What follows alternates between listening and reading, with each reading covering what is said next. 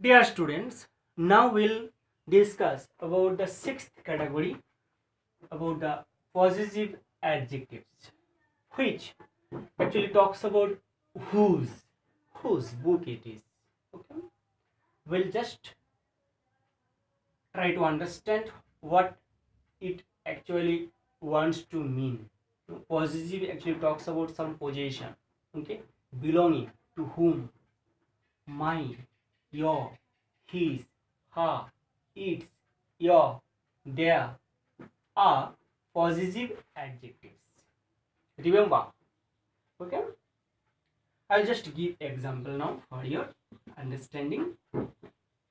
She gave me, she gave me her book.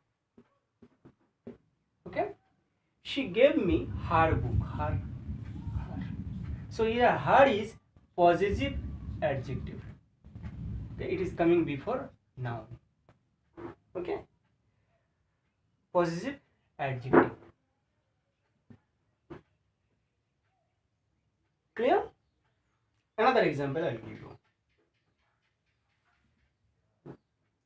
It is my dog. Whose dog it is? My dog. My dog. So positive adjective. This is noun. This is verb. Okay. Another example I'll just give you. Okay.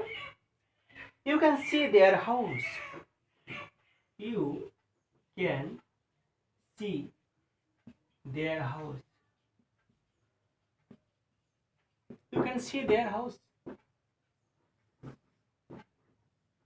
Possessive adjective.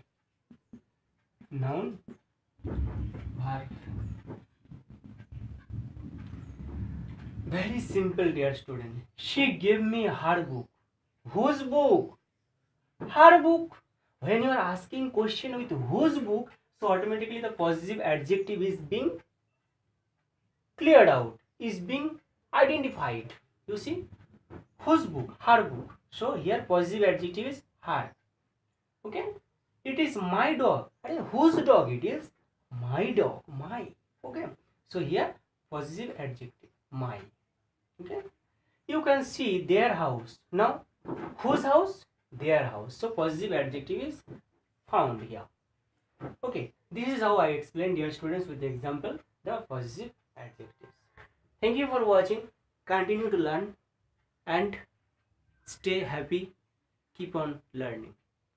Thank you. Take care.